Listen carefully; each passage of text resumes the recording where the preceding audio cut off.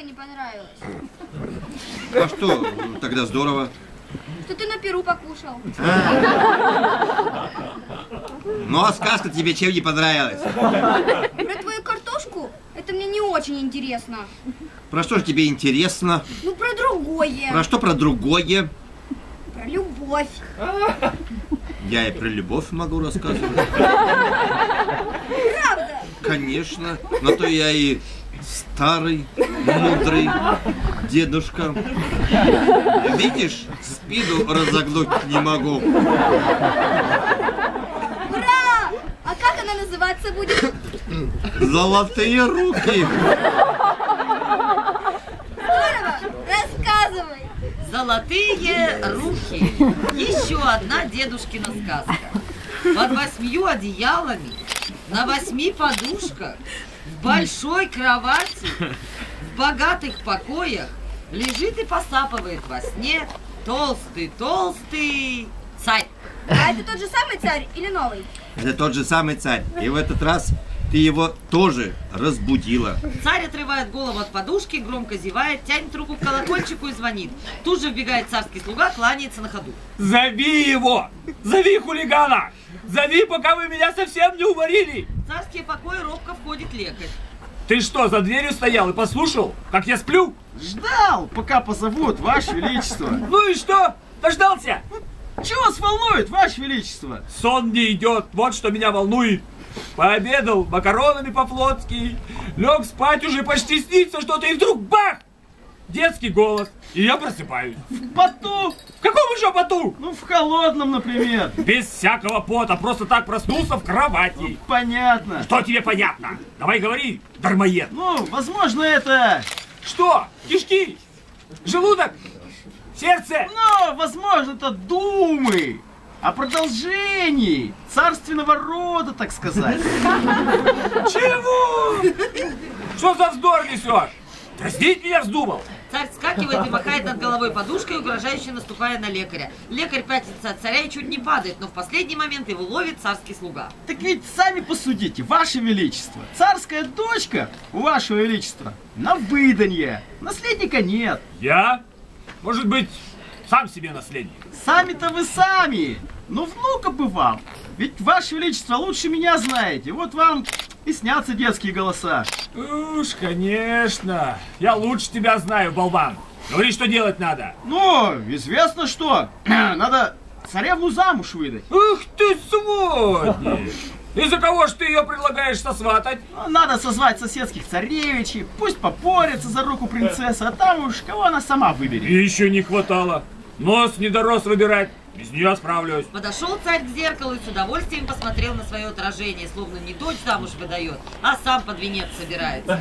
Приказание отдает своему царскому слуге.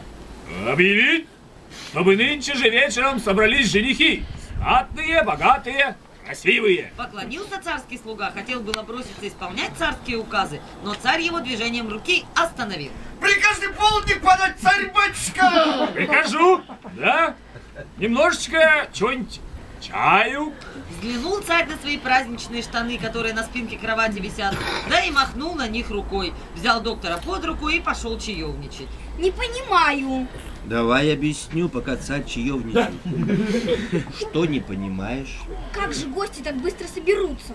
Это же в стародавние времена, когда не телефона. Правильно. Но царь был нетерпеливым и откладывать не хотел. Вот и смотри сама, что из этого получилось. Царь допил чай, мантию самую парадную натянул на плечи и в главном зале дворца на трон плюхнулся. Рядом с собой дочку посадил, позади себя лекаря и мудреца поставил и велит гостей запускать. Всех, кто приехал за царевну свататься. Первым вошел высокий, высокий юноша в дорогих синих одеждах. Поклонился и речь молвил. Синий принц! Здравствуйте, ваше сиятельство. Я сын соседа вашего, подводного царя. Как услышал, что вы дочку замуж выдаете, так с первой же волной и прибыл. Уж не стоили этой волной, которая рыбацкую деревню смыла. Царь мудрецу! Погоди ты! Синему принцу! Вижу, что ты знатен, дружок. Вижу, что красив. А скажи, богат ли батюшка твой, царь подводный? Еще как богат ваше сиятельство. Кораблей золотом и другими товарами не счесть у нас на дне морском, а людей и того больше. Лекарь. Ох ведь! Были многие из этих кораблей раньше нашими. Ну, получи, когда не спрашивают. Я бы сразу за тебя дочку выдал, но надо и остальных претендентов выслушать. Слуги! Давай запускай, кто там следующий. Царевна! Эх, папочка. Цыть, дочка. Нахмурились от этого разговора мудрец царский и царский лекарь. А царевна погрустнела, так что, видать, и ей не люб синий принц вовсе. Входит в зал другой юноша, широкоплечий, в дорогих черных одеждах, кланяется и речь молвит. Черный принц. Здравствуйте, ваше сиятельство! Я сын соседа вашего, царя Гор. Донеслась до нас, что вы дочку замуж выдаете. Я с первой же лавиной прибыл. Не с той ли лавиной, которая царскую лесопилку порушила? Перестань, перестань ворчать, следите. Скажи, дорогой друг, богат ли твой батюшка? Очень богат, ваше сиятельство. Множество горных шахт, полных золота, есть у нас. Все надежно камнями завалены. Нашими шахты ведь были, пока не завалило их. Ну не перебивай принца. Нравишься ты мне, приятель мой, нравишься. Но я царь справедливый и всех должен выслушать. Запускай следующего. Пуще прежнего нахмурились мудрец царский и царский лекарь. Царевна ничего не сказала, но еще сильнее погрустнела. Кажется, вот-вот заплачет царское дитя. Последний претендент будет! И хорошо, побыстрее дело решим и ужинать. Входит в зал юноша и непонятную машину о двух колесах рядом с собой ведет. Кланяется царю и царевне и речь молвит. Юноша, Добрый вечер, царь-батюшка. Ой, Ванечка. Какой Ванечка? Ты же принц заграничный, так ли? Куда там, батюшка-царь? Я к кузнецу сыном прихожусь, Никодиму. Услышал, что вы дочку замуж выдаете, сел на велосипед собственного изобретательства и помчался быстрее ветра. Решил вдруг мне посчастливиться царевны в жены взять, чем черт шут не шутит. Не то ли это новое чудо техники, которому весь город дивится? Тихо ты! Так, о чем бишь мы? А, а вот, что и богат, значит, твой батюшка? Откуда же мы быть богатым? Живем скромно, чем богаты, тем и рады. Вот царевне подарочек принес, на счастье. Ваня достает из кармана подкову, подходит и кланяясь подносит царевне. Царевна заулыбалась и даже покраснела немножко. Мудрец тем временем незаметно улизнул из-за царской спины и принялся самым внимательным образом изучать велосипед. Подковка. Это никуда не годится. Отдай это мне, а сама иди руки вон мой. Изумительно! Это изумительно! И что мы с мылом? Царь у дочери подковы отнять пытается, а лекарь жестами и взглядом царю показывает, что гости все еще здесь и царского решения ждут. Наконец царь понял, что одолеть дочку у него не получится, и успокоился. Да. Так. Мне надо подумать, чтобы принять решение. Не могли бы мои дорогие принцы и ты, Ванюша, подождать немного в синях? Это оскорбительно, я здесь не останусь. Это нелепо. Я сюда, я сюда не в синях обиваться приехал. Ушли принцы из тронного зала, а вслед за ними царский слуга и Ваню выпроводил, а мудреца, наоборот, от велосипеда оттащил и к царю подвел. Ну, лодыри, давайте подсказывайте, кого выбирать. Я Ванечку хочу. Ну это может быть царевне самой выбрать. А я тогда зачем нужен? Нет, сами как-нибудь справимся. Ваше Величество, надо Ивана вашим зятем сделать. Ты что же, специально это мне? Назло говоришь?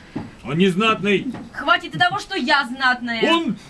Да ты... Да ты посмотри на двух других, на принцев. Они же красавцы по сравнению с ним. Это ты так говоришь, потому что у него кафтан дырявый и в копоти. Ой, слышать не хочу. У него ни кола, ни двора. Но у него золотые руки! Это еще как? Неужто правда? Вы же видели, Ваше Величество, какую он штуку смастерил. О нем будут вспоминать потомки, с ним будут сравнивать всех самых великих изобретателей будущего. Ужели из чистого золота руки-то? Это точно, царь-батюшка! У нас когда дверь просила, Тебя-то кто спрашивал? Сам от горшка два вершка, а уж того же. Если бы у нашего Ивана руки были бы золотые, разве уж он бы мне об этом не сказал первым делом? Ванечка скромный. Ванечка, Ванечка, Ванечка, заладила. Ладно, если руки из чистого золота, то пускай будет Ваня. Покуда золото-то, а? Да по самые плечи. Услышал это царь, велел в тот же вечер свадьбу сыграть.